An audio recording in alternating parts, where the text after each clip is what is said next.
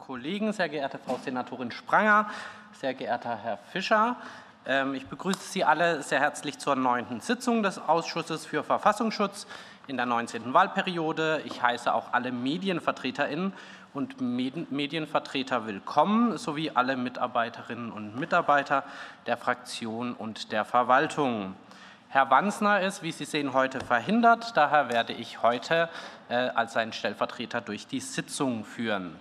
Ich bitte die Medienvertreter außerdem noch, die hier Bilder machen, sich ab nun an ähm, im hinteren Teil des Ausschusssaales aufzuhalten, damit wir hier ungestört fortführen können. Ähm, einmal noch die Hinweise im Zusammenhang mit der Pandemie. Die ZuschauerInnen im Hause ähm, sind, äh, ist, sind nach wie vor nur sehr eingeschränkt zugelassen. Deshalb stellen wir die Öffentlichkeit der Sitzung über einen Livestream auf der Seite des Abgeordnetenhauses her. Zudem wird die Sitzung in Raum 377 übertragen. Ich begrüße auch dort alle ganz herzlich, die uns auf diesem Wege zuschauen.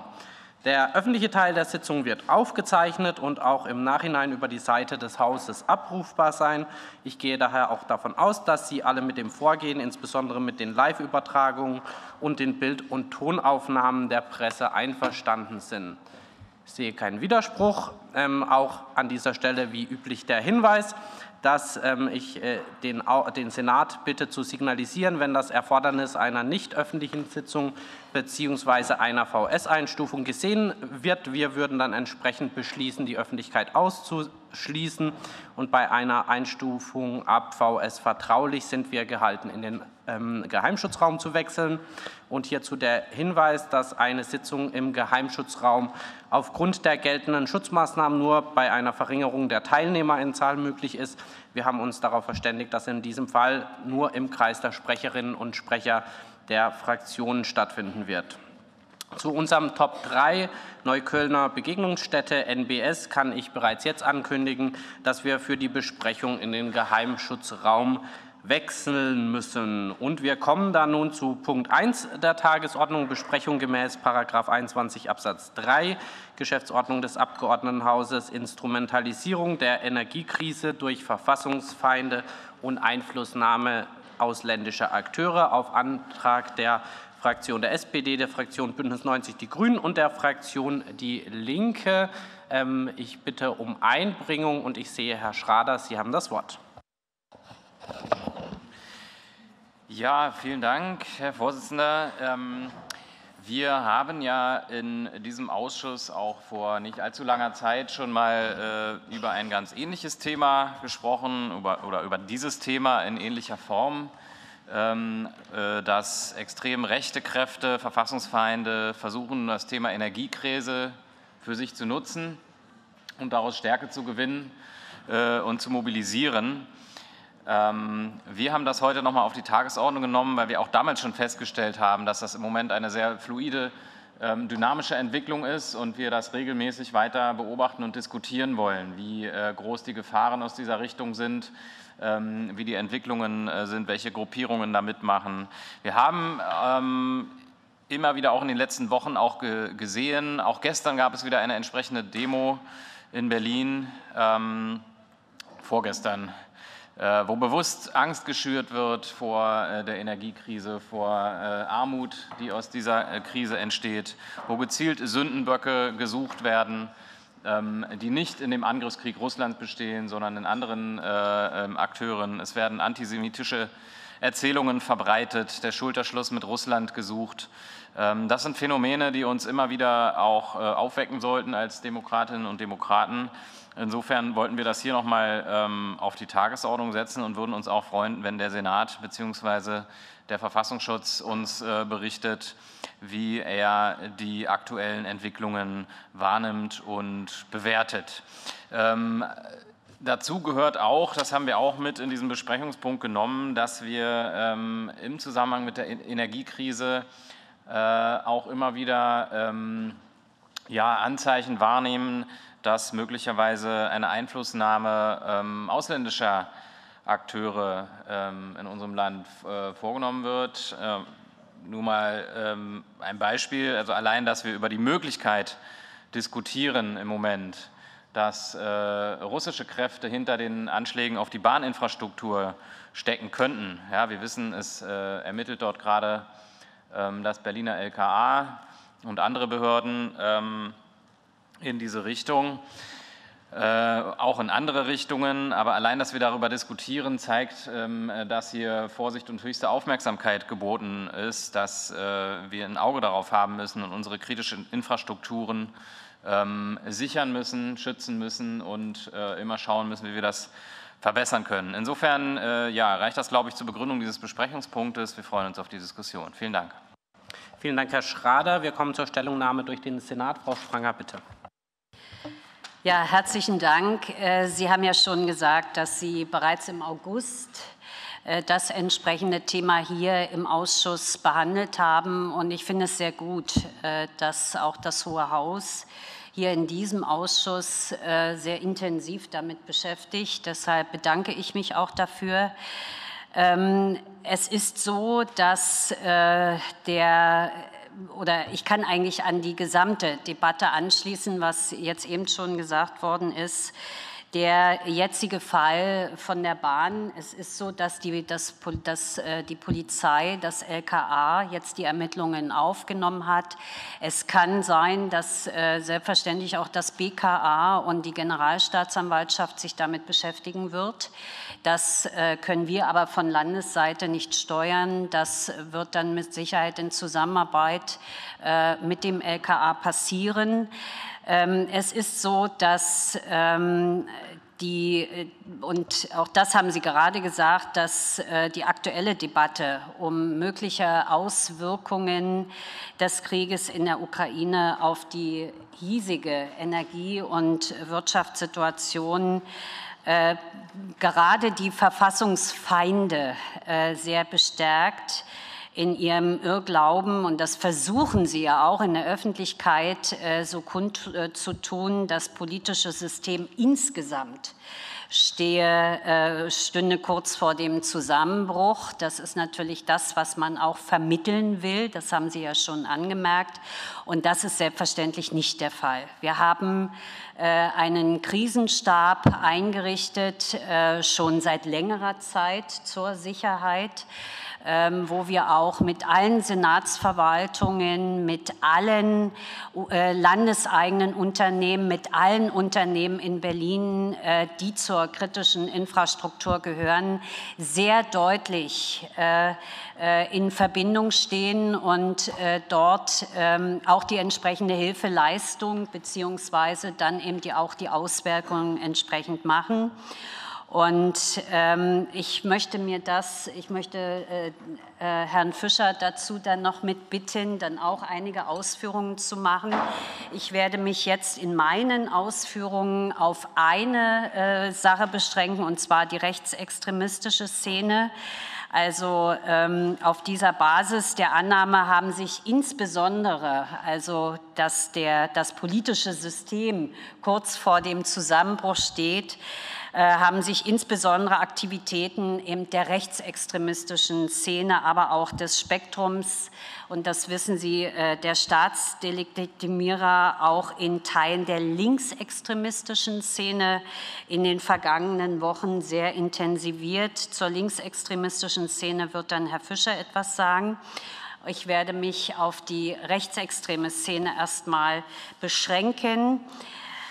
Hier in der rechtsextremen äh, Szene ist es vor allem die Szene der verfassungsschutzrelevanten neuen Recht, äh, Rechten. Das äh, haben Sie ja schon beim letzten Mal äh, auch miteinander besprochen, die natürlich den äh, Diskurs auch dominiert. Das haben wir jetzt ja auch auf verschiedenen Veranstaltungen erlebt. Es sollen also Zweifel an der Handlungsfähigkeit von Politik und politisch Verantwortlichen gesät werden. Und zudem sollen breite Schichten der Bevölkerung äh, verunsichert werden. Und für diese Gedanken, die Sie da ja sehr extrem auch in die äh, Städte hineinbringen, durch Demonstrationen, durch Veranstaltungen, durch Öffentlichkeit, auch äh, diese eigenen Ideen dann praktisch empfänglich gemacht werden. Teile der neuen Rechte, Rechten sehen in der aktuellen Situation bereits das Potenzial zur Zusammenarbeit mit anderen politischen Kräften und sie rufen eben bislang noch ohne nennenswerte Resonanz äh, zur Bildung einer sogenannten Querfront auf.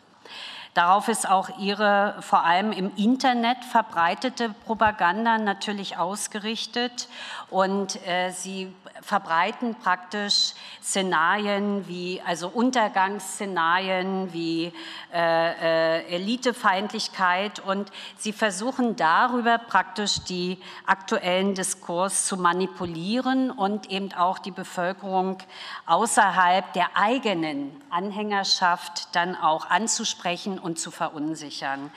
In einem rechts, äh, rechtsextremistischen Monatszeitschrift werden regelmäßig entsprechende Beiträge gebracht. Und da zitiere ich mal, Bevölkerung friert, Establishment in Saus und Braus. Das heißt also, die Oberen leben so gut und ihr unten werdet vergessen. Und äh, das ist ähm, praktisch eines der Sachen, die sie ganz massiv verbreiten. Und äh, Sie sagen natürlich auch, die EU-Sanktionen, nur Deutschland ist der große Verlierer. Das sind alles solche Zitate, ohne dass Sie mal darauf eingehen, was die einzelnen Bundesländer machen, was die Bundesregierung macht. Das interessiert Sie selbstverständlich nicht. Sie wollen eine gewisse Propaganda in die Öffentlichkeit hineintragen. Bislang verfängt sich diese Propaganda der neuen Rechten äh, in Berlin nur begrenzt. Das äh, können wir feststellen. Aber die Situation ist hier insofern nicht vergleichbar mit der Situation in den ostdeutschen Bundesländern. Das muss man auch offen sagen. Trotzdem müssen wir natürlich als Bundeshauptstadt damit rechnen, dass äh, Berlin als Hauptstadt natürlich und als politisches Entscheidungszentrum der Bundesrepublik im Fokus der äh, Propaganda bleibt und Berlin dadurch auch zu ähm, stärkeren Aktionsort werden könnte. Das haben wir ja entsprechend gestern auch schon gemerkt. Sowohl die NPD als auch der Dritte Weg betten das Thema Energieversorgung unabhängig von ihren Positionierungen zum russischen Angriffskrieg gegen die Ukraine in ihrer Erzählung von einem allgemeinen Staatsversagen mit ein. Und das passt praktisch in das, was ich vorhin schon gesagt habe. Worum es eigentlich den beiden äh, Parteien aber tatsächlich geht, zeigt die aktuelle Kampagne des Dritten Weges, die den Titel trägt, die wahre Krise ist das System. Und das ist auch der Kern, um den es im Grunde genommen geht auch wenn die Akteure des traditionellen Rechtsextremismus längst nicht über ein, eine so große Resonanz äh, verfügen wie die neue Rechte, so wird das trotzdem alles instrumentalisiert und ähm, äh, Sie versuchen natürlich die aktuelle politische Situation äh, so darzustellen, dass Sie eben auch Kapital daraus schlagen. Das ist deren äh, Ziel und das versuchen sie natürlich. Das ist jetzt erstmal ein erster Überblick über die äh, rechtsextreme Szene und dann würde ich einfach mal Herrn Fischer bitten, jetzt noch mal auch über die linksextreme Szene einiges zu sagen. Herzlichen Dank. Vielen Dank. Äh, ich würde noch ganz kurz dazwischen schalten das Spektrum der Staatsdelegitimierung. Und auch dort nimmt das Thema Energieversorgung zunehmend mehr Raum ein. Dabei geht es allerdings weniger um eine klare Positionierung, und zwar eine Positionierung auf einer Seite der Kriegsparteien, sondern vielmehr um eine anhaltende Diskreditierung von Politik und insbesondere von der Bundesregierung. Ähnlich wie bei den Maßnahmen zur Bekämpfung der Corona-Pandemie werden zahlreiche Verschwörungsnarrative bemüht, die darauf abzielen, das Vertrauen in staatliches Handeln zu untergraben und dieses Handeln eben, und darum heißt diese Bewegung so, zu delegitimieren. Ganz aktuell wird in der Szene beispielsweise breit über die Hintergründe der Sabotage an den Gaspipelines Nord Stream 1 und 2 spekuliert. In der gängigsten Erzählung werden die USA für die Anschläge verantwortlich gemacht und dabei wird das Narrativ aufgestellt, dies wäre ohne Billigung der Bundesregierung überhaupt nicht möglich gewesen. Damit wären die Anschläge auf Nord Stream 1 und 2 nichts weniger als, ich zitiere, eine offene Kriegserklärung der Bundesregierung gegen die eigene Bevölkerung. Zitat Ende. Anders als bei den Protesten gegen die Corona-Maßnahmen sind die Staatsdelegitimierer aber momentan nicht die treibende Kraft bei der Instrumentalisierung des Themas Energieversorgungssicherheit. Das sind aktuell, Frau Senatorin Spranger hat es eben gerade ausgeführt, die Gruppierungen und Protagonisten aus dem Bereich der sogenannten neuen Rechten, also Rechtsextremisten.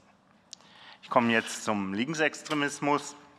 Auch dort gewinnt das Thema Energieversorgung an Bedeutung. Einzelne Gruppierungen rufen dazu auf, die, Prozess, die Proteste nicht nur Rechtsextremistinnen und Rechtsextremisten zu überlassen, sondern auch eigene Aktionen durchzuführen.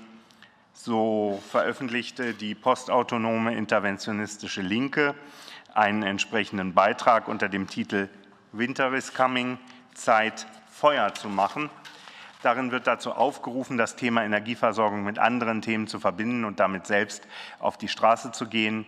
Und der Beitrag endet dann mit dem Aufruf, Zitat, Let's choose communism.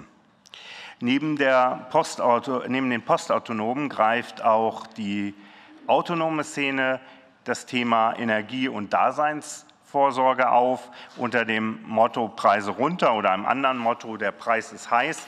Initiierten die Angehörigen der Szene in den letzten Wochen Proteste im Wedding und auch in Kreuzberg. Die Resonanz darauf blieb allerdings mit einer Beteiligung im unteren dreistelligen Bereich bislang verhalten. Trotzdem zeigen diese Beispiele, dass auch aus dem linksextremistischen Spektrum in den nächsten Wochen und Monaten mit entsprechenden Kampagnen zu rechnen sein dürfte. Und um das Bild abzurunden, will ich auch noch einmal auf das islamistische Spektrum eingehen. Hier spielt zwar das Thema Energieversorgung bislang keine Rolle, allerdings wird der Krieg in der Ukraine durchaus von Terrororganisationen wie Al-Qaida und dem IS thematisiert und hervorgehoben wird dort die vermeintliche Ablenkung der Sicherheitsbehörden, die durch Anschläge insbesondere auf die Infrastruktur ausgenutzt werden könnte. Und ich möchte allerdings auch Gelegenheit nehmen, hier zu betonen, dass uns gegenwärtig keine Anhaltspunkte für eine konkrete Gefährdung Berlins aus diesem Bereich vorliegen. Abschließend möchte ich noch auf die Einflussnahme ausländischer Akteure eingehen. Wir hatten in der letzten Sitzung bereits über die Einflussnahmeaktivitäten russischer Nachrichtendienste gesprochen und Herr Staatssekretär Ackmann hat in diesem Zusammenhang insbesondere darauf hingewiesen, dass das Thema Energieversorgung einen immer größeren Raum in der russischen Propaganda einnimmt. Aktuell spielen dabei die Sabotageakte gegen die Pipelines Nord Stream 1 und 2 eine große Rolle. Das gängige Narrativ der russischen Propaganda lautet, dass Russland als Verdächtiger nicht in Betracht komme, da es keinen Vorteil aus einer solchen Aktion ziehen könne. Stattdessen wird breit über die möglichen Hintergründe der Anschläge spekuliert und es werden andere Staaten als Verdächtige benannt. Was darüber hinaus bemerkenswert ist, ist die Tatsache, dass russische Gaslieferungen von prorussischen Akteuren nur sehr zurückhaltend thematisiert werden. Es werden keine Lieferstopps kommentiert, sondern es wird vielmehr immer wieder die vermeintliche Bereitschaft Russlands zur Lieferung von Gas betont. Damit leisten prorussische Kanäle den Narrativvorschub, dass die Verantwortung für mögliche Energieengpässe allein bei der westlichen Seite läge was daran auffällig ist, ist, dass Sie damit dasselbe Narrativ bedienen, das eben von Frau Spranger schon ähm, dargestellt wurde und eben von rechtsextremistischen Propagandisten verfolgt wird. Und äh, zusammenfassend lässt sich damit festhalten, dass die Folgen des russischen Angriffskrieges gegen die Ukraine und seine möglichen Auswirkungen auf Deutschland aktuell in nahezu allen extremistischen Phänomenbereichen das dominierende Thema sind. Ähm, was die Anschläge auf den Bahnverkehr vom Wochenende angeht, äh, weil danach gefragt worden ist, möchte ich noch mal das wiederholen, was Frau Spranger eben gesagt hat. Dort finden jetzt Strafermittlungen statt und die warten wir ab. Und solange die eben nicht äh, irgendein Ergebnis bringen, kann ich Ihnen hier leider auch jetzt keine verlässlichen Auskünfte erteilen. Dankeschön. Vielen Dank, Frau Spranger. Vielen Dank, Herr Fischer. Wir kommen nun zur Aussprache. Ich habe schon eine Wortmeldung gesehen und nehme weitere auch entgegen und würde dann das Wort an den Herrn Kollegen Schrader übergeben. Ja, vielen Dank ähm, erstmal für den Bericht. Ich habe da noch zwei, drei äh, Nachfragen zu, Anmerkungen.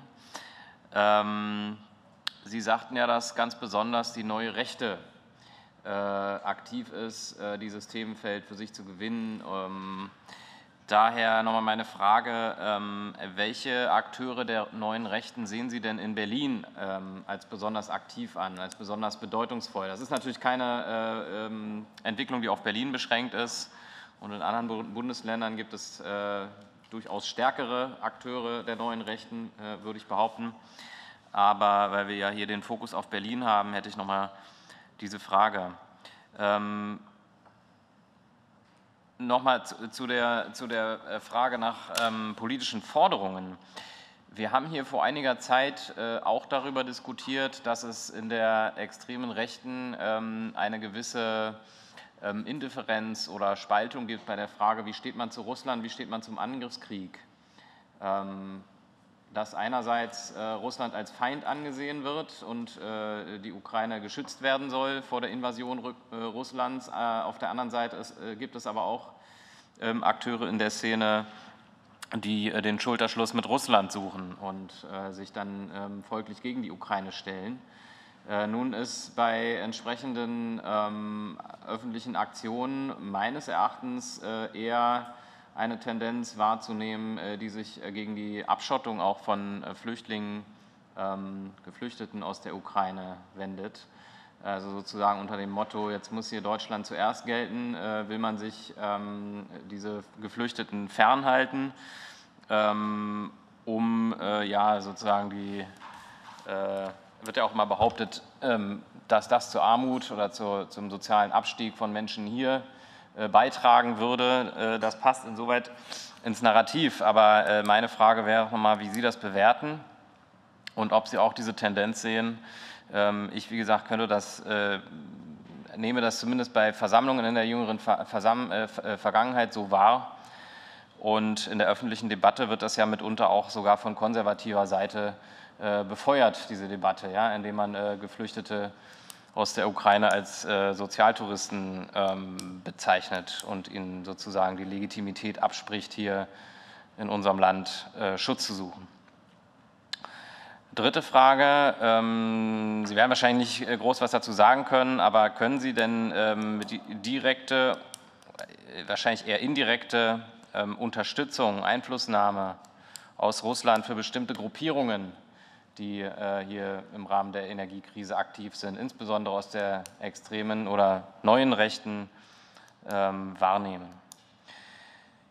Und zum Schluss vielleicht noch mal eine ähm, Anmerkung zu dem, was Sie zu den autonomen Gruppierungen gesagt haben. Also ist denn nicht im Grunde gerade die ähm, äh, Thematisierung der Energie, äh, des Energiethemas und der Betonung der Daseinsvorsorge ähm, gerade keine verfassungsfeindliche Bestrebung? Oder macht es allein, wenn bestimmte autonome Gruppierungen das so machen, macht es das schon zu einer verfassungsfeindlichen Bestrebung? Also das würde mich immer aus Ihrer Sicht interessieren. Sie wissen ja, dass wir da äh, ein bisschen andere ähm, Auffassungen haben, was die Beobachtung von bestimmten Gruppierungen angeht. Aber ich würde jetzt erstmal äh, nicht behaupten, dass aus solchen Aktionen irgendeine Form von Gefahr für äh, die demokratische Grundordnung ausgeht. Danke. Vielen Dank. Ich würde erstmal sammeln, wenn das okay ist. Genau, dann äh, habe ich Herrn Liemann gesehen von der SPD.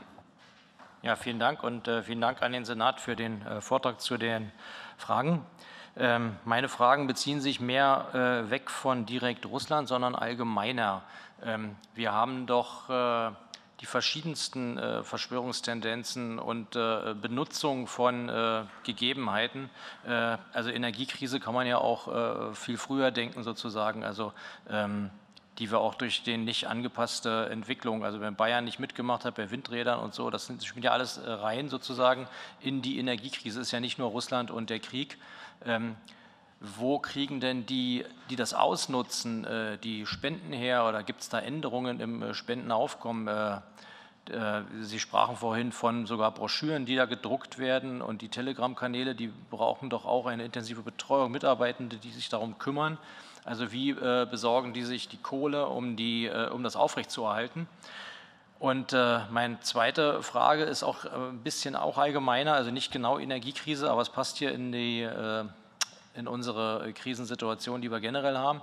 Der große CDU-Vorsitzende hatte neulich ein äh, Beispiel da mit äh, äh, Touristen oder Sozial-Ukrainern genannt im, in einem Interview, hat sich dann auch entschuldigt, aber ich komm, das wollte ich nicht thematisieren. Ich wollte das, was daraufhin erfolgte, thematisieren. In der ARD stand bei den Tagesthemen eine interessante Auseinandersetzung damit, dass erst haben pro-russische Kräfte das benutzt, äh, um zu sagen, äh, guck mal, äh, gegen die Ukrainer in Deutschland wächst der Widerstand. Und als Merz sich dann entschuldigt hat, haben die gesagt, guck mal, jetzt muss er zurückrudern, so sehr steht er auch unter Druck von der Staatsräson. Wie ist denn da die Möglichkeit, unsere Bevölkerung aufzuklären, äh, dass sie viel aufmerksamer weiß, was man sagen kann, was man nicht sagen kann. Gibt es da eine Art Handreichung? Also selbst wenn ich noch ein einfaches Beispiel nehme, äh, was kann ich denn runterladen, um meiner Großmutter zu zeigen? Äh, guck mal, so einfach ist das mit diesen Verschwörungstheorien oder so. Vielen Dank. Dann Herr Krestel. Ja, geschätzter Kollege Lehmann, was Sie da gerade am Schluss sagten, das lässt mich jetzt so ein bisschen ratlos hier zurück. Also ich hoffe doch nicht, dass wir jetzt hier staatliche Stellen mittlerweile haben oder planen, die also Handreichungen herausgeben, was die Bürger also sagen können und was sie nicht können. Das ist doch im Rahmen der Eigenverantwortung zu regeln in einer freiheitlichen Demokratie. Aber das haben Sie wahrscheinlich auch nicht so gemeint, wie das jetzt also formuliert war. Ja ähm, weil es mich noch mal interessieren würde, ähm, wäre in der Tat auch diese ambivalente Verhalten des rechten Randes des politischen Spektrums, ja, also eigentlich ähm, haben die ja, ja jahrzehntelang hier immer ähm, mit Russland hier die ehemalige Sowjetunion hier mit zu assoziiert und waren denen nicht wohlgesonnen, aber zugleich ist da also auch so diese äh, psychologische, für mich schwer erklärbare, äh, die, die, diese gewisse Bewunderung, ja, zu so einem, ja, man möchte fast sagen, Führer wie Putin, ja, der da so Volk da so richtig hier an die Kandare nimmt und dann da loslegt. Also das wäre auch mal eine Untersuchung ähm, wert, wenn jemand hier nationalistisch orientiert ist, wie die sich dann zugleich hier an so einen hier ausländischen, Anführungsstrichen immer gesprochen, Führer da derartig anlehnen äh, können. Und ähm, dann ähm, würde mich mal interessieren, weil Sie auch die Autonomen hier ansprachen, Herr Schrader hatte das ja gleich kritisiert. Also ich bin jetzt auf der linken Seite des politischen Spektrums hier angekommen. Das ist doch ähm, ähm, letztlich so, ähm, dass ähm, die nicht automatisch hier sakrosankt werden, wenn, wenn sie sich Gedanken um die Energiefinanzierung oder ähnliche Dinge machen. Das Entscheidende bei den Leuten ist doch immer, welche Methoden sie denn zur Problemlösung äh, ventilieren und möglicherweise sogar vorschlagen. Und da vermute ich mal nicht, dass die eine Spendensammlung, sondern eher eine äh, geschickte ähm, ähm, direkte Aktionen organisieren wollen, weil das Ziel und der Fehler liegt ja auch bei denen immer im politischen System, auch wenn die bei Herrn ähm, Schrader nicht so durchkam. Vielen Dank. Vielen Dank. Dann Herr Standfuß. Ich habe auch noch eine Nachfrage. Wenn man sonst nicht viel hat, eignet sich Sozialtourismus natürlich immer, um den Wahlkampf so ein bisschen anzufeuern. Einmal, zweimal, dreimal hören dann vielleicht heute noch, schauen wir mal. Aber mich interessiert was anderes. Äh, mich interessiert, äh, ob Sie hatten äh, im Zusammenhang mit äh, den Akteuren auf der rechten Seite immer mit Staatsdelegitimierern gesprochen und das ähm, war jetzt aber auf der Linken bei der Autonomen nicht der Fall. Gibt es denn dafür Erkenntnisse oder haben Sie das jetzt nur an der Stelle nicht angewandt? Ist es aber trotzdem ähnlich, dass auch da staatliche Strukturen in Frage gestellt werden? Das würde mich nochmal interessieren. Ich würde, wenn es jetzt erstmal äh, keine weiteren Fragen gibt, an den Senat zur Beantwortung übergeben. Frau Spranger, bitte. Ja, herzlichen Dank für die Fragestellung. Ich äh, werde anfangen äh, mit einzelnen beantworten und dann wird Herr Fischer weitermachen. Äh, die erste Frage ging ja noch mal klar um die neue Rechte. Also anders als die äh, traditionellen Rechtsextremisten verzichtet einfach die neue Rechte in öffentlichen Stellungnahmen, das habe ich ja vorhin schon mal angemerkt, weitgehend äh, um ja, herkömmliche rechtsextremistische Argumentationsmuster. Das machen die bewusst nicht, das ist natürlich ein Kalkül weil dieser Verzicht äh, ist praktisch ein strategisches Kalkül. Das habe ich vorhin schon mal versucht auch zu sagen, denn die neue Rechte setzt darauf, eine möglichst breite Öffentlichkeit mit sich zu nehmen und äh, polarisiert dadurch natürlich auch. Und deshalb finden die meisten Kampagnen äh, eben auch äh, im Netz statt. Also sie versuchen praktisch die, so, durch die sozialen Medien äh, den Diskurs zu manipulieren und äh, damit eben auch die Deutungshoheit zu bekommen. Das ist deren Ziel. Und äh, sie wollen damit natürlich die Themen setzen und für sich, anders als man sonst die rechtsextreme Szene von NPD und so weiter kennt, dann praktisch die entsprechenden ähm, Sachen durchzusetzen. Und das ist insbesondere natürlich das äh, demokratiegefährdende Potenzial auch in dieser neuen Rechten. Denn es geht äh, ihr darum, rechtsextremistische Positionen als vermeintlich normale äh, Position mehrheitsfähig erscheinen zu lassen und das dann eben auch zu machen. Deshalb ähm, haben Sie ja schon richtigerweise auch gesagt, Berlin ist damit jetzt als solches mit den Demonstrationen noch nicht äh, äh, in erster Linie, aber wir müssen natürlich schauen, äh, wie sich das auch weiterentwickelt. Zurzeit geht es meistens eben über diese sozialen Medien.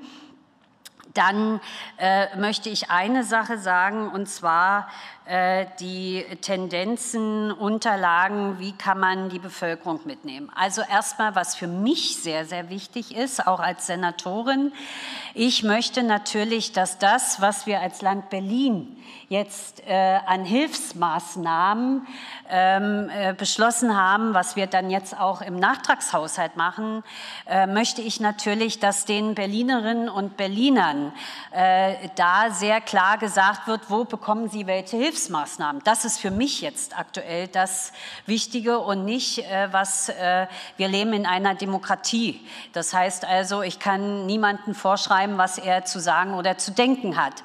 Aber ich möchte natürlich den Berlinerinnen und Berlinern sehr klar sagen, wir richten einen Hilfsfonds ein und diesen Hilfsfonds, wie kommt ihr an euer Geld? Wie äh, kommt ihr an das Wohngeld? Weil wir werden eine Verdreifachung der Wohngeldempfänger haben.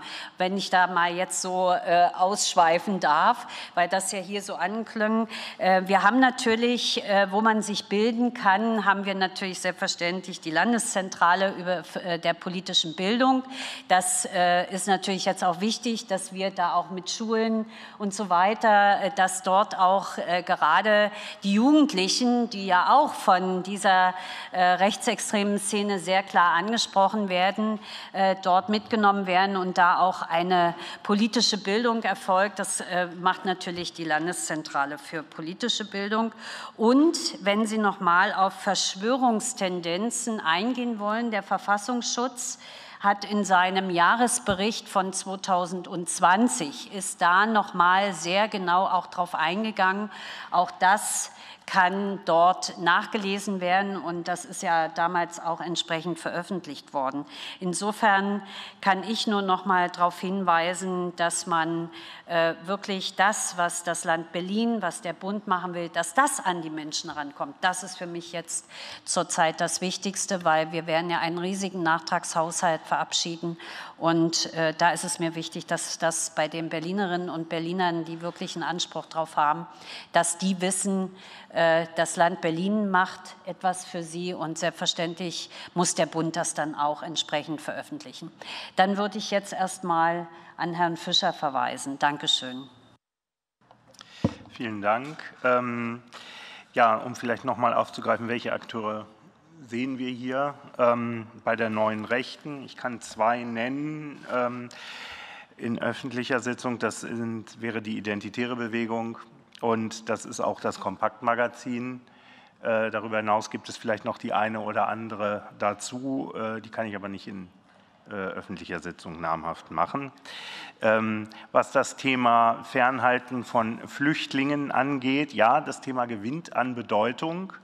Aber auch da ist eben noch keine einheitliche Position im äh, rechtsextremistischen Milieu vorfindbar im Augenblick. Äh, Sie wissen, der dritte Weg, ich habe das in der letzten Sitzung, glaube ich, schon mal gesagt, unterstützt sehr stark ähm, die Ukraine. Andere beziehen prorussische ähm, Positionen. Insofern ähm, ist dann auch klar, äh, dass dieses Thema etwas ist, was auch kontrovers noch ist. Aber Sie haben völlig recht, Herr Schrader, das Thema gewinnt an Bedeutung. Ähm, was direkte Unterstützung aus Russland angeht, würde ich mir wünschen, ich könnte Ihnen hier konkrete Erkenntnisse präsentieren, kann ich aber leider nicht. Was wir sehen, ist eher die demokratiefeindliche Agenda, die immer wieder durchscheint und äh, eine grundsätzliche ähm, ja, Demokratieablehnung in den entsprechenden Foren dort. Aber ich kann jetzt nicht irgendwelche konkreten Dinge hier darstellen. Dann die Frage, äh, ob das Besetzen eines äh, Themas, das Thema durch äh, Verfassungsfeinde ähm, oder in dem Fall Linksextremistinnen und Linksextremisten das Thema gleich zu einer verfassungsfeindlichen Fragestellung macht. Das ist natürlich nicht der Fall. Ähm, selbstverständlich nicht. Aber es ist natürlich so, dass auch Linksextremistinnen und Linksextremisten bestimmte gesellschaftlich relevante und wichtige Themen besetzen. Ja, das tun sie äh, in vielerlei Hinsicht und ähm, kommen da vielleicht auch nachher noch drauf. Und ähm, da ist es eben so, dass ähm, dort eben auch Linksextremisten sich jetzt auch bei der Frage der Energieversorgungssicherheit einbringen. Und wenn man dann äh, seinen Beitrag beschließt mit Choose Communism, dann ist es einfach schwer, äh, nicht dazu zu kommen, dass es sich hier vielleicht um verfassungsfeindliche Ausgangssituationen handelt. Ähm, das dazu dann ähm, zu Herrn Standfuß. Staatsdelegitimierung ist bei uns ein eigenes Beobachtungsfeld, äh, das wir so genannt haben, ähm, weil es ganz gut konkretisiert, worum es denen geht. Aber auch in allen anderen Extremismusvarianten, Phänomenbereichen finden Sie natürlich äh, Versatzstücke von Staatsdelegitimierung auch. Also das haben jetzt nicht nur die Staatsdelegitimierer für sich alleine exklusiv, sondern das ist etwas, äh, was Sie auch im Linksextremismus, im Rechtsextremismus bei den Reichsbürgerinnen und Reichsbürgern finden ähm, und auch natürlich im Islamismus, weil es denen natürlich darum geht, dieses System anzugreifen. Also wenn Sie so wollen, der Kernbereich von Extremismus, von Verfassungsfeindlichkeit. Ja, Vielleicht habe ich damit das meiste jedenfalls abgeräumt. Vielen Dank, Frau Senatorin. Vielen Dank, Herr Fischer. Ähm, wir werden noch mal in eine zweite Runde einsteigen, da es noch Fragen gibt. Wer auch noch mal drankommen äh, möchte, kann sich gerne melden. Als nächstes habe ich Frau Amadi von den Grünen. Vielen Dank, Herr Vorsitzender. Herr Standfuß, keine Sorge, ich werde nicht auf Sozialtourismus eingehen. Zweimal äh, reicht. Äh, ähm, auch äh, Vielen Dank für die Ausführungen. Zwei äh, konkrete Fragen hätte ich noch, und zwar ähm, zum Thema kritische Infrastrukturen, ob es jetzt äh, bereits äh, konkrete Maßnahmen dazu gibt, sie sicherzustellen, vor allem im Hinblick auf Cybersicherheit. Und äh, des Weiteren würde ich auch gerne wissen, was ähm, welche Medien dann von den Staatslegitimierer und jetzt auch in dem Fall äh, der Diskussion heute bevorzugt werden, außer Telegram natürlich, was äh, uns allen bekannt ist, ähm, teilweise auch Facebook, aber hauptsächlich Telegram und ob äh, TikTok hier auch eine Rolle spielt. Vielen Dank. Ich sehe sonst keine weiteren Wortmeldungen und würde dann noch mal an den Senat übergeben. Ich habe ja vorhin schon gesagt, dass wir entsprechende Krisenstäbe auch in den, äh, äh, in den äh, einzelnen Senatsverwaltungen eingerichtet haben und das läuft selbstverständlich. Äh, wir haben natürlich auch, was Cybersicherheit angeht, dort sehr klar äh, auch die Sicherheitsmaßnahmen natürlich verstärkt. Das müssen wir auch, weil es natürlich zunehmend auch dort äh, Angriffe gibt. Ich habe vorhin schon gesagt, dass wir auch die entsprechenden Unternehmen selbstverständlich unterrichtet haben und mit denen zusammenarbeiten. Das ist mir persönlich auch sehr, sehr wichtig, weil das muss in diesen Krisenstäben zusammengeführt werden, damit äh, auch die Erfahrungen in den Unternehmen, das sind ja nicht nur landeseigene Unternehmen, Unternehmen, dass die Mitarbeiterinnen und Mitarbeiter auch alle äh, sensibel darauf reagieren. Sie selber wissen auch als Abgeordnete, wie äh, auch die Abgeordneten bereits einzelne Mails erhalten haben, die, äh, die dann sehr gefährlich auch werden können, wenn man darauf reagiert. Das heißt also, äh, die Angriffe äh, müssen natürlich auch so bewertet werden, dass wir äh, ne, äh, die Sicherheit auch gewährleisten. Also insofern, äh, wir beschäftigen uns damit. Äh, Frau Abgeordnete, Sie werden verstehen, dass ich jetzt einzelne Maßnahmen hier nicht öffentlich darstellen werde, weil wir sind hier in der Öffentlichkeit und äh, das, was wir tun, machen wir natürlich so, dass wir die Sicherheit äh, für die Berlinerinnen und Berliner darstellen, aber auch für die Unternehmer. Das ist sehr, sehr wichtig. Aber Sie können damit rechnen, dass wir das sehr klar im Fokus haben. Dankeschön. Ja, wenn ich dann noch ergänzen darf, äh, Sie hatten nach den Medien gefragt. Ähm, da muss man sagen, äh, grundsätzlich legen die sich keine Beschränkungen auf, sondern es werden alle zur Verfügung stehenden Medien bespielt, um eine möglichst große Reichweite herzustellen. Derzeit zentral ist aber nach wie vor ähm, Telegram, auch gut erreichbar und auch für ähm, die Verantwortlichen, die da posten und einstellen, relativ sicher. Ähm, will aber jetzt nicht ausschließen, dass es eben auch über TikTok sein kann. Allerdings ist das Format eher etwas für jüngere Leute und wenn man sich äh, den Altersdurchschnitt ansieht, dann ähm, macht es schon Sinn, da mit Telegram umzugehen, weil das doch äh, auch ermöglicht, größere Inhalte auch dann zu verbreiten. Also halten nochmal fest, es ist alles im Schwerpunkt Telegram. Gibt es weitere Nachfragen? Das sehe ich nicht. Es wurden ja auch äh, zwei Themen angesprochen, die wir hier nicht in öffentlicher Sitzung besprechen können. Daher würde ich ja auch vorschlagen, dass wir den Tagesordnungspunkt zumindest kurz noch mal in der nicht öffentlichen Sitzung ähm, aufrufen werden, um den dann abschließend zu behandeln. Ähm, deshalb würde ich den Tagesordnungspunkt hier im öffentlichen Teil ähm, schließen ähm, bis wir dann in nicht öffentlicher Sitzung dann den abschließend beraten können und weitergehen mit Punkt 2 der Tagesordnung. Ebenfalls eine Besprechung gemäß 21 Absatz 3 der Geschäftsordnung, Erkenntnisse des Verfassungsschutzes zu Botschaftsaktivitäten oder Tätigkeiten iranischer Geheimdienste oder anderer Akteure in Berlin im Kontext der Iran-Proteste, angemeldet der Fraktion der SPD, Bündnis 90 Die Grünen und der Fraktion Die Linke und die ähm, Begründung würde Frau Amadi von der Fraktion Bündnis 90 Die Grünen übernehmen. Sie haben das Wort. Auch hier vielen Dank, Herr Vorsitzender. Es, ähm, ich versuche es kurz zu machen. Die Proteste im äh, Iran die dauer, sind mittlerweile in vierter Woche. Äh, das Regime geht brutal gegen Protestierende vor. Menschen werden direkt auf der Straße erschossen. Und ähm, es sieht aus, als äh, würde es noch länger dauern und intensiver werden.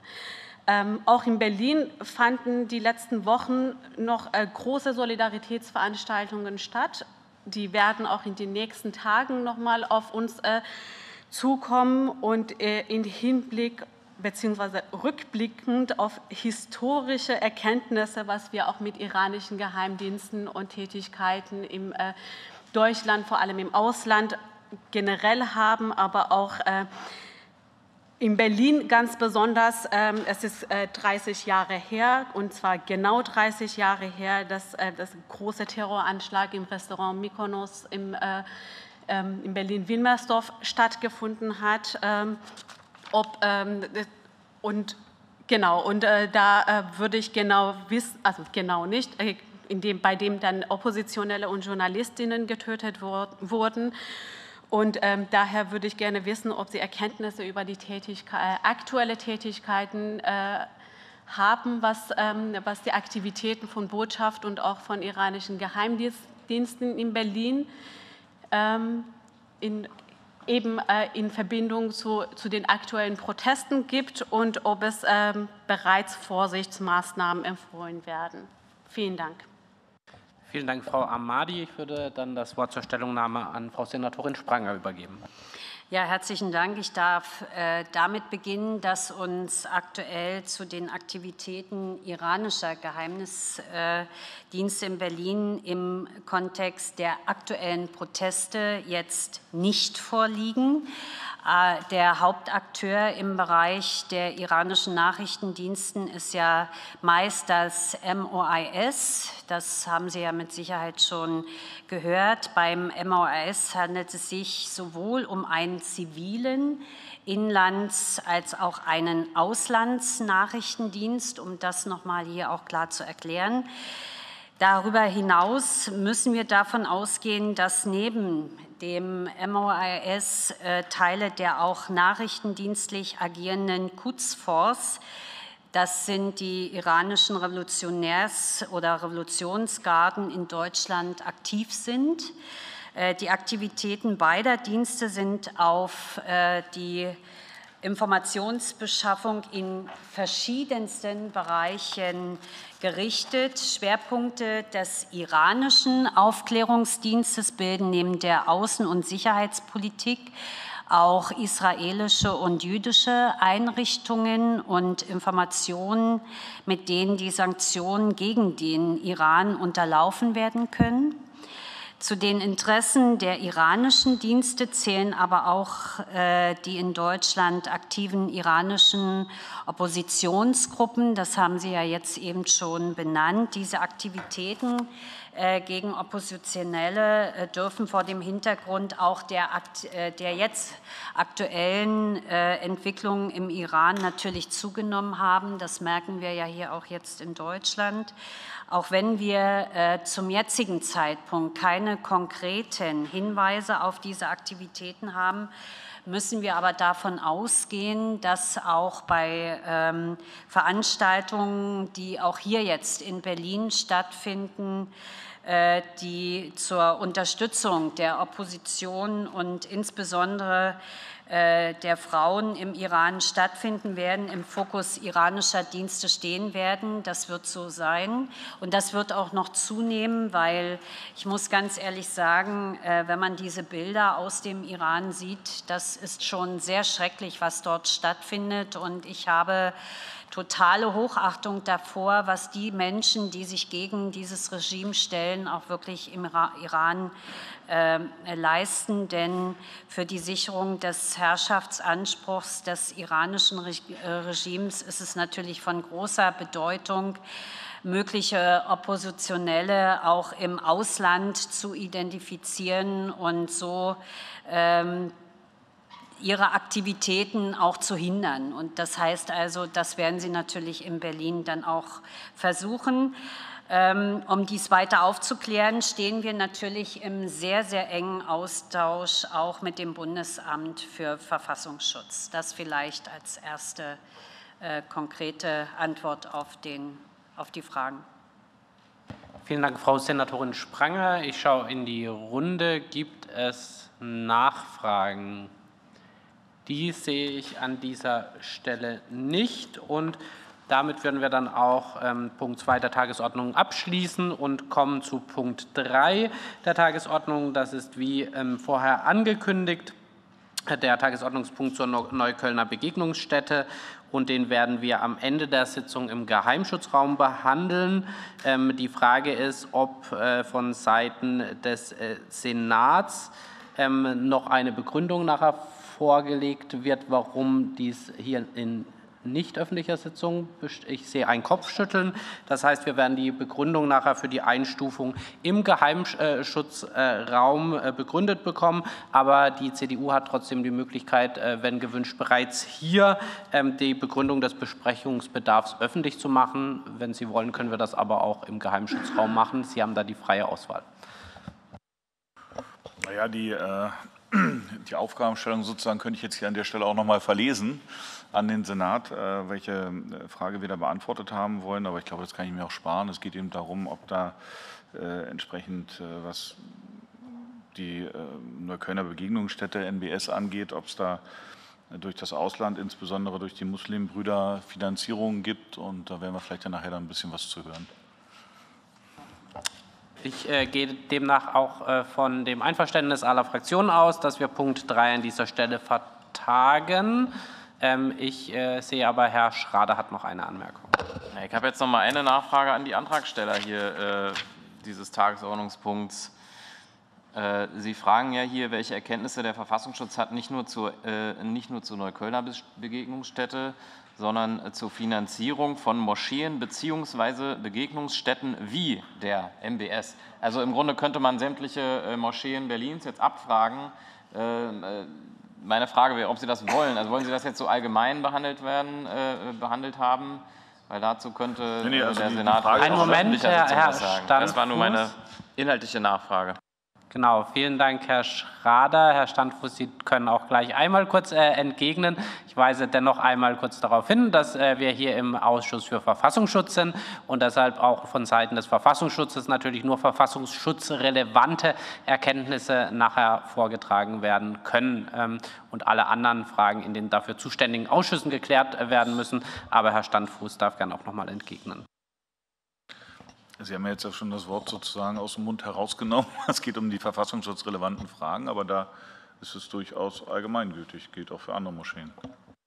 Gut, dann war das äh, aber vielleicht trotzdem hilfreich, um äh, ein gemeinsames Verständnis der Fragestellungen zu erreichen.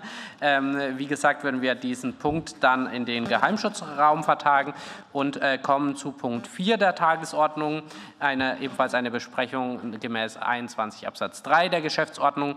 Erkenntnisse des Verfassungsschutzes bezüglich Radikalisierung innerhalb der Klimabewegung auf Antrag der Fraktion der FDP. Und Herr Krestel, wenn Sie wünschen, dürfen Sie den Tagesordnungspunkt Tagesordnungspunkt gerne einbringen. Ja, also das ist ja nicht zum ersten Mal, dass ich für die FDP in diese Richtung hier nachfrage. Und ich war ja ähm, sonst immer auf die entsprechenden Äußerungen des Leiters des hamburgischen Verfassungsschutzes angewiesen, der sich ja schon lange hier immer also sehr klar zu Gruppen wie zum Beispiel Extinction Rebellion geäußert hat. Und jetzt liegen zumindest mussten wir das ja aus den Medien entnehmen, also weitere Äußerungen vor, zum Beispiel aus der neuen Osnabrücker Zeitung vom 2.10. diesen Jahres, wo der niedersächsische Verfassungsschutz vor ähm, radikalisierten Klimaaktivisten warnt und Straftaten seien für sie kein Tabu. Wir haben das ja heute in der Stadt auch wieder erlebt. Und ähm, in diesem Artikel äh, kam unter anderem auch der Extremismusforscher Alexander Strassner zu Wort und erklärte, dass er Parallelen zur Entstehungsgeschichte der einzigen linken Terrororganisation der RAF sehe. Das will ich überhaupt nicht mal so weit denken. Wenn ich mir das so angucke in Berlin, dann sind das äh, äh, Menschen, die auf mich eine harmlos wirken, weil Menschen, die anderen Menschen äh, ähm, ähm, nötigen, die Menschen an der Arbeit hindern, die die Krankentransporte gefährden, die sind nicht harmlos. Bloß ich ähm, meine, man müsste da so langsam ähm, mal zu dem Punkt kommen, da diese Szene also auch mal zumindest in die Richtung geprüft wird, wenn dort fortgesetzte Straftaten als legitime Mittel des politischen Handelns angesehen werden, inwieweit die bereits in dem politischen Extremismus abgleiten. Und ähm, der, der besagte Artikel hat also nicht mehr die, die Gruppe Extinction Rebellion benannt, sondern zum Beispiel auch die Gruppe Ende Gelände, die ja bei den Auseinandersetzungen im Hambacher Forst da zahlreiche Straftaten gegen Polizeibeamte verübt hat. Und in wie weit kann der Berliner Verfassungsschutz diese Ansichten inzwischen teilen? Gibt es inzwischen neue Erkenntnisse oder wird dieser, dieser ganze Komplex hier immer noch als nicht verfassungsschutzrelevant behandelt? Vielen Dank. Vielen Dank, Herr Krestel, äh, für die Begründung. Ich übergebe das Wort auch hier wieder an Senatorin Spranger. Ja, herzlichen Dank. Wir haben ja in den verschiedensten Ausschüssen schon auch über die Klimaaktivisten gesprochen. Zum Verfassungsschutz wird Herr Fischer dann was sagen. Sie kennen ja schon, das haben wir ja auch äh, in der letzten Plenarsitzung noch mal miteinander besprochen. Meine Auffassung ist sehr klar.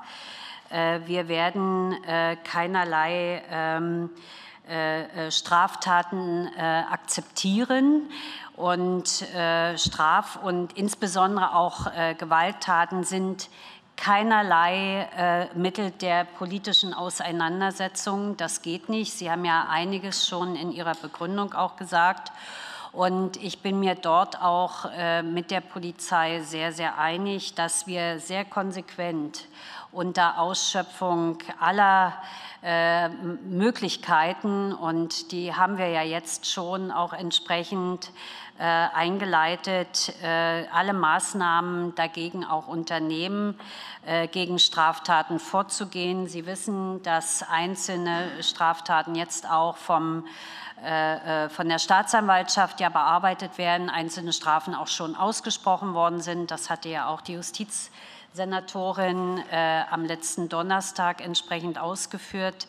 Ich muss Ihnen sagen, ähm, es ist eben äh, es ist das falsche Mittel, was äh, streckenweise als Straftat gemacht wird, äh, obwohl man äh, die Klimapolitik ähm, ja äh, mehr oder weniger sich dagegen stellt, wie es gemacht wird. Aber das mit Straftaten zu machen, das ist eben nicht richtig. Und das muss natürlich entsprechend geahndet werden. Und das äh, tut die Polizei, das, tut die, äh, das tun auch im Übrigen jetzt die anderen Bundesländer, weil nicht nur Berlin ist ja damit betroffen, betroffen sondern ähm, äh, eigentlich europaweit oder sogar weltweit sind ja Klimaaktivisten unterwegs und machen entsprechende Straftaten.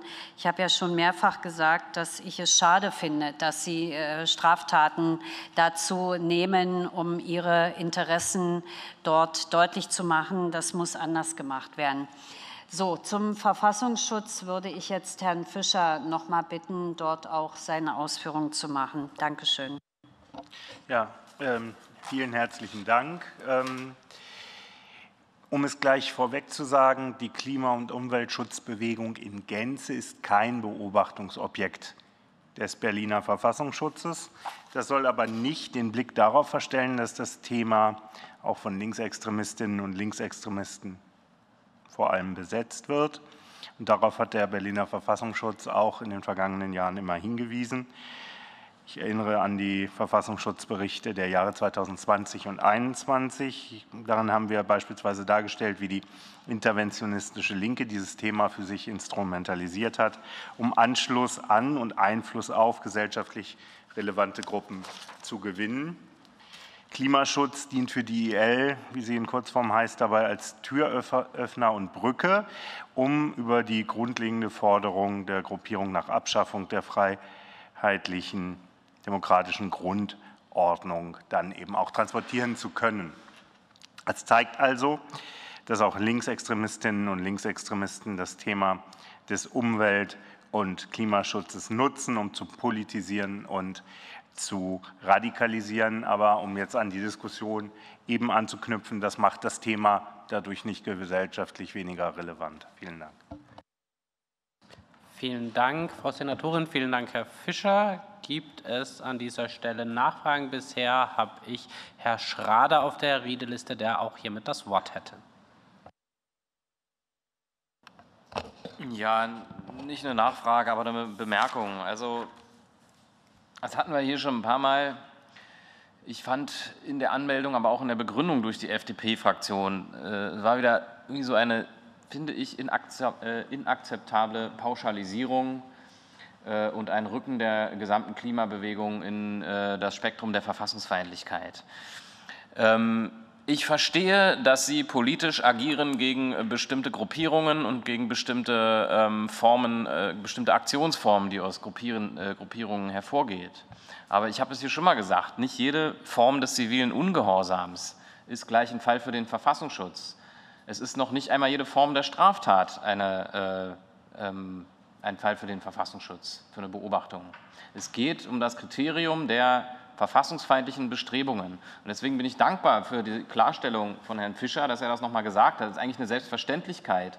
Aber dass das hier auch nochmal klargestellt werden muss, dass äh, die Klimaschutzbewegung kein Beobachtungsobjekt ist des Verfassungsschutzes, äh, scheint ja offenbar noch nötig zu, äh, sein.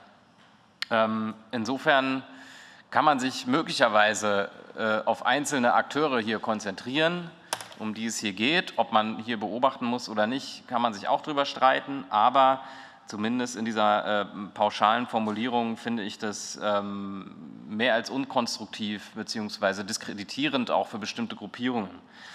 Wenn es darum geht, äh, das Klima zu schützen, auch das ist natürlich keine, äh, keine verfassungsfeindliche Bestrebung. Im Gegenteil, wir haben ja seit dem ähm, seit dem Urteil des Bundesverfassungsgerichtes von 2021, äh, ja, dieses berühmte Klimaurteil, äh, sogar die Situation, dass gerichtlich, höchstgerichtlich festgestellt worden ist, dass der Klimaschutz eine Pflicht des Gesetzgebers ist, äh, die direkt aus dem Grundgesetz abzuleiten ist. Insofern, ja, das rechtfertigt keine Straftat, das äh, sagte auch keiner. Aber insofern äh, ist das sozusagen, muss man den Spieß da schon umdrehen. So, und erst wenn es wirklich Bestrebungen gibt, äh, äh, die demokratische ähm, Grundordnung anzugreifen, äh, zu zerstören, dann kommt eine Beobachtung durch den Verfassungsschutz überhaupt erst in Betracht. Und das ist natürlich nicht der Fall, wenn sich da Leute auf die Straße kleben, weil sie bestimmte Klimaschutzziele erreichen wollen. Da kann man darüber streiten, ob die Aktionsform geeignet ist, ob die, ob die gesellschaftlich akzeptabel ist, ob die strafbar ist und so weiter. Aber für den Verfassungsschutz ist das äh, einfach kein Thema.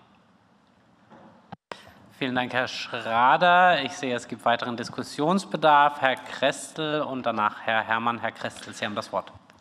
Tja, also dass wir da nicht auf den gleichen Nenner kommen, Herr Schrader, das ist mir schon bewusst. Aber es ist natürlich so, dass Sie da versuchen, die Sache immer umzudrehen und ähm, Sie sprechen immer von der Diskreditierung der Klimaschutzbewegung. Also ich habe ja da bereits in der Begründung äh, ganz bestimmte Gruppierungen benannt, die von sich behaupten, sie wären Teil oder vielleicht sogar die Speerspitze der Klimaschutzbewegung. Und zu denen gehören ähm, eine erhebliche Anzahl von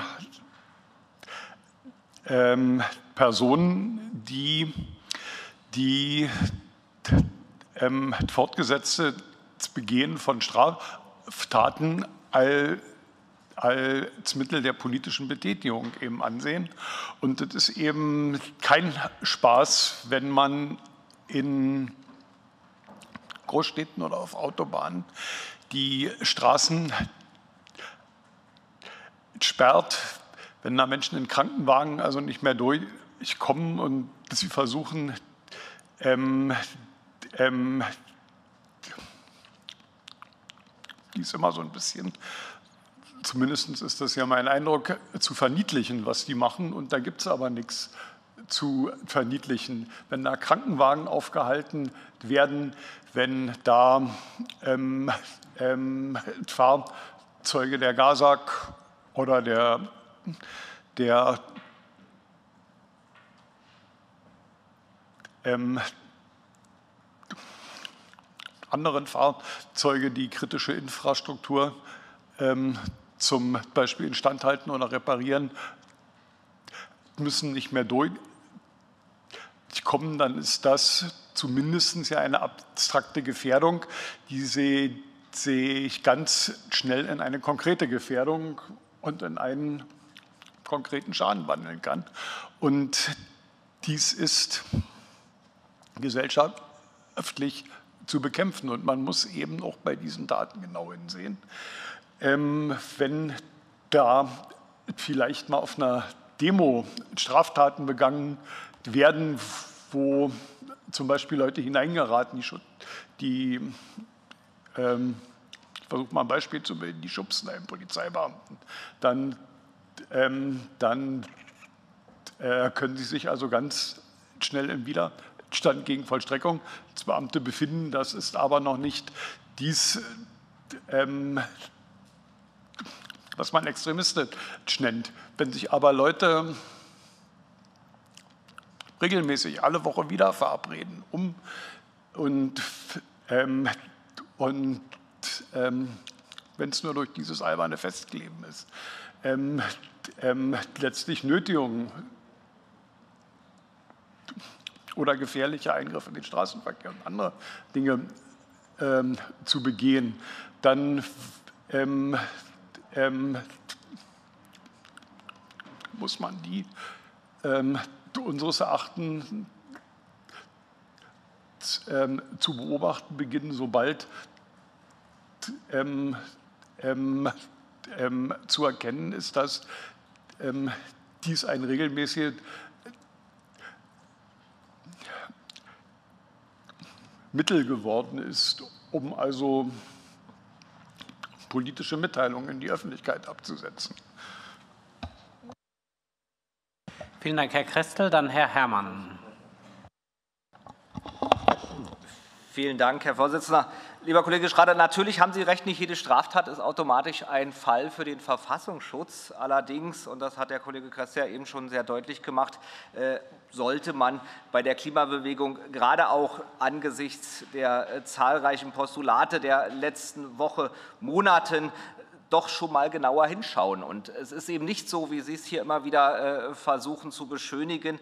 Es sind Straftaten und es sind Straftaten, die auch äh, gegen unsere freiheitlich-demokratische Grundordnung äh, gerichtet sind, wenn man hier ankündigt, Sachbeschädigung im großen Stil umzugehen und Sie das hier noch gutheißen, indem Sie sagen, der Zweck heiligt die Mittel. Ich will nur daran erinnern, was der Gründer von Ende Gelände dem Spiegel seinerseits gesagt hat. In der Klimakrise kann sich die Bewegung gerade zwischen Irrelevanz und Militanz entscheiden und zumindest Ansätze sind für Militanz sichtbar und diese Ansätze für Militanz, für einen gesellschaftlichen Umbruch, der damit einhergeht, der angekündigt ist, äh, teilweise hinterher zurückgenommen wird als Witz. Das kennen wir auch von anderen extremen äh, Parteien, Organisationen, wo man dann auf der Maus ausgerutscht ist, sollte man beobachten, sollte man ernst nehmen. Und das war der Appell, glaube ich, den die FDP-Fraktion hier auch noch mal im äh, Abgeordnetenhaus deutlich machen wollte. Vielen Dank.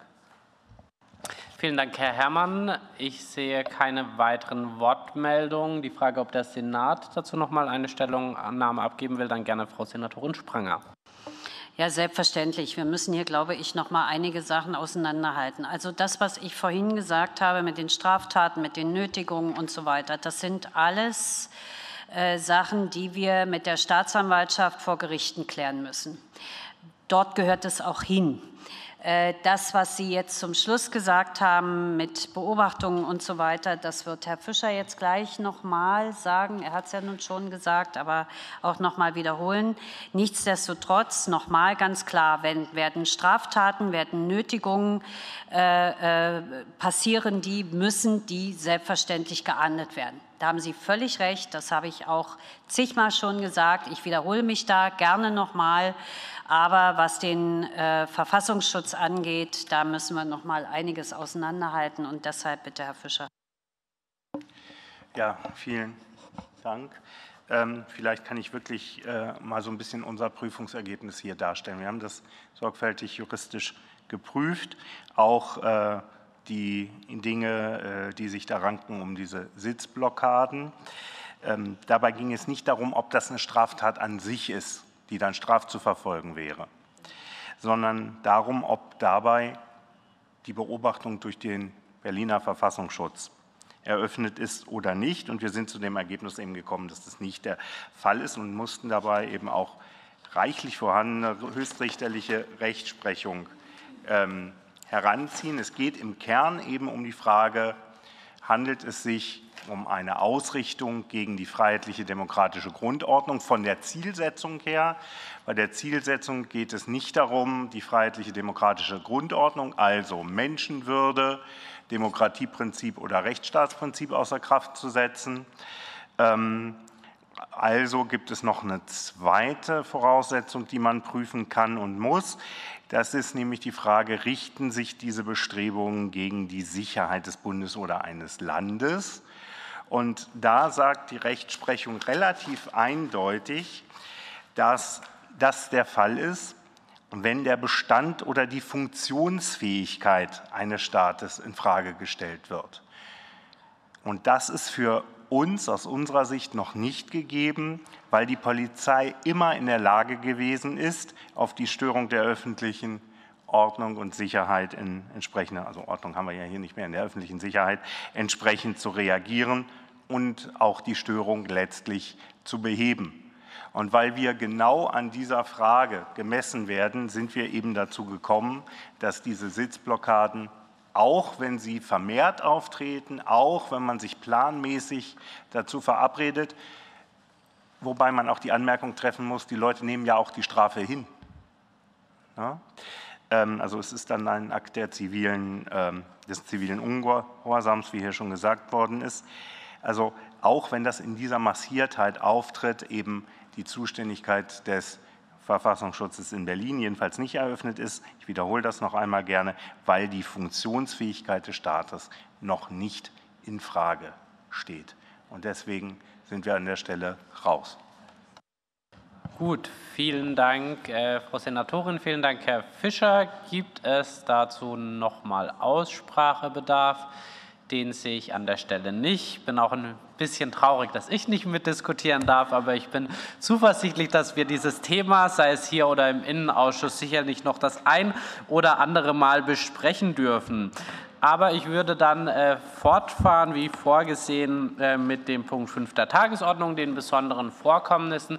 Hier ist ein besonderes Vorkommnis von Seiten der Fraktion Bündnis 90 Die Grünen vorab eingegangen.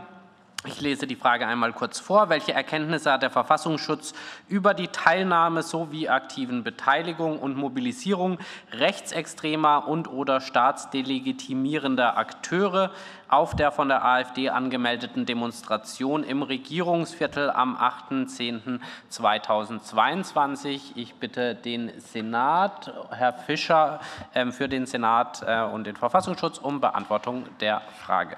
Ja, vielen Dank, Herr Vorsitzender, meine sehr geehrten Damen und Herren Abgeordneten.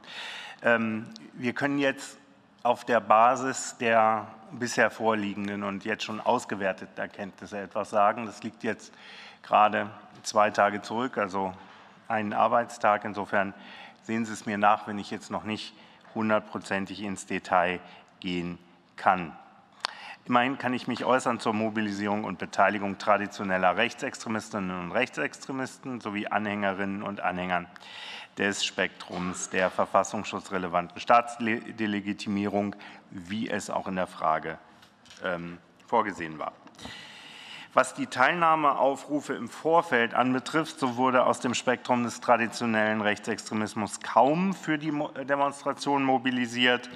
Parteien wie der Dritte Weg oder auch die NPD thematisierten die Veranstaltung nicht und riefen auch auf ihren offiziellen Kanälen nicht zur Teilnahme auf. Das gilt im Wesentlichen auch für das Neonazi-Spektrum, in dem die Demonstration lediglich von einzelnen Personen aufgegriffen wurde. Demgegenüber stellt sich äh, das Bild im Bereich der Staatsdelegitimierung uneinheitlich dar. Zwar war auch hier keine flächendeckende Mobilisierung festzustellen, allerdings stieß die Demonstration in Teilen der Szene durchaus auf Interesse. So wurde in Telegram-Kanälen und hier insbesondere in prorussischen Chatgruppen, aber auch auf einzelnen Demonstrationen, die in den vergangenen Wochen montags vor allem in den ostdeutschen Ländern stattfanden, zur Teilnahme am Aufzug in Berlin aufgerufen. Zur konkreten Teilnahme von Rechtsextremistinnen und Rechtsextremisten sowie den Anhängerinnen und Anhängern der Staatsdelegitimierung liegen so kurz nach der Veranstaltung bislang nur Einzelerkenntnisse vor. So lässt sich zum Beispiel sagen, dass das Kompaktmagazin mit einem Stand vertreten war. Darüber hinaus konnten innerhalb des Aufzugs unter anderem einzelne Anhängerinnen und Anhänger der NPD, des Dritten Weges und auch des Spektrums der Staatsdelegitimierung festgestellt werden. Nach dem ersten Eindruck hatten sie jedoch keinen prägenden Einfluss auf das Demonstrationsgeschehen. Detailliertere Erkenntnisse liegen, wie gesagt, noch nicht vor. Wir werden das aber in enger Zusammenarbeit mit den Verfassungsschutzbehörden in den nächsten Tagen auswerten und uns dazu auch informatorisch austauschen. Vielen Dank. Vielen Dank, Herr Fischer. Gibt es Nachfragen von Seiten der Fraktion Bündnis 90 Die Grünen oder jemand anderem? Das sehe ich nicht. Dann gäbe es jetzt noch die Möglichkeit für spontane Fragen aus anderen aktuellen Anlässen. Auch das sehe ich an dieser Stelle nicht. Dann frage ich noch den Senat, ob es Frau Senatorin, vielen Dank. Ob es von Seiten des Senats noch ähm, weitere Punkte zu berichten gäbe, das sehe ich auch nicht. Und wir kommen damit zu Punkt 6 der Tagesordnung. Das ist Verschiedenes. An dieser Stelle nur der Hinweis, dass unsere nächste Sitzung am Montag, den 21. November 2022 um 14 Uhr hier in Raum 376 stattfindet. Ich schließe damit diesen Teil der Sitzung und bitte die Sprecherinnen und Sprecher in circa zehn Minuten in den Geheimschutzraum zu kommen bedanke mich bei allen anderen für das Interesse und äh, wünsche einen schönen Restmontag. Vielen Dank.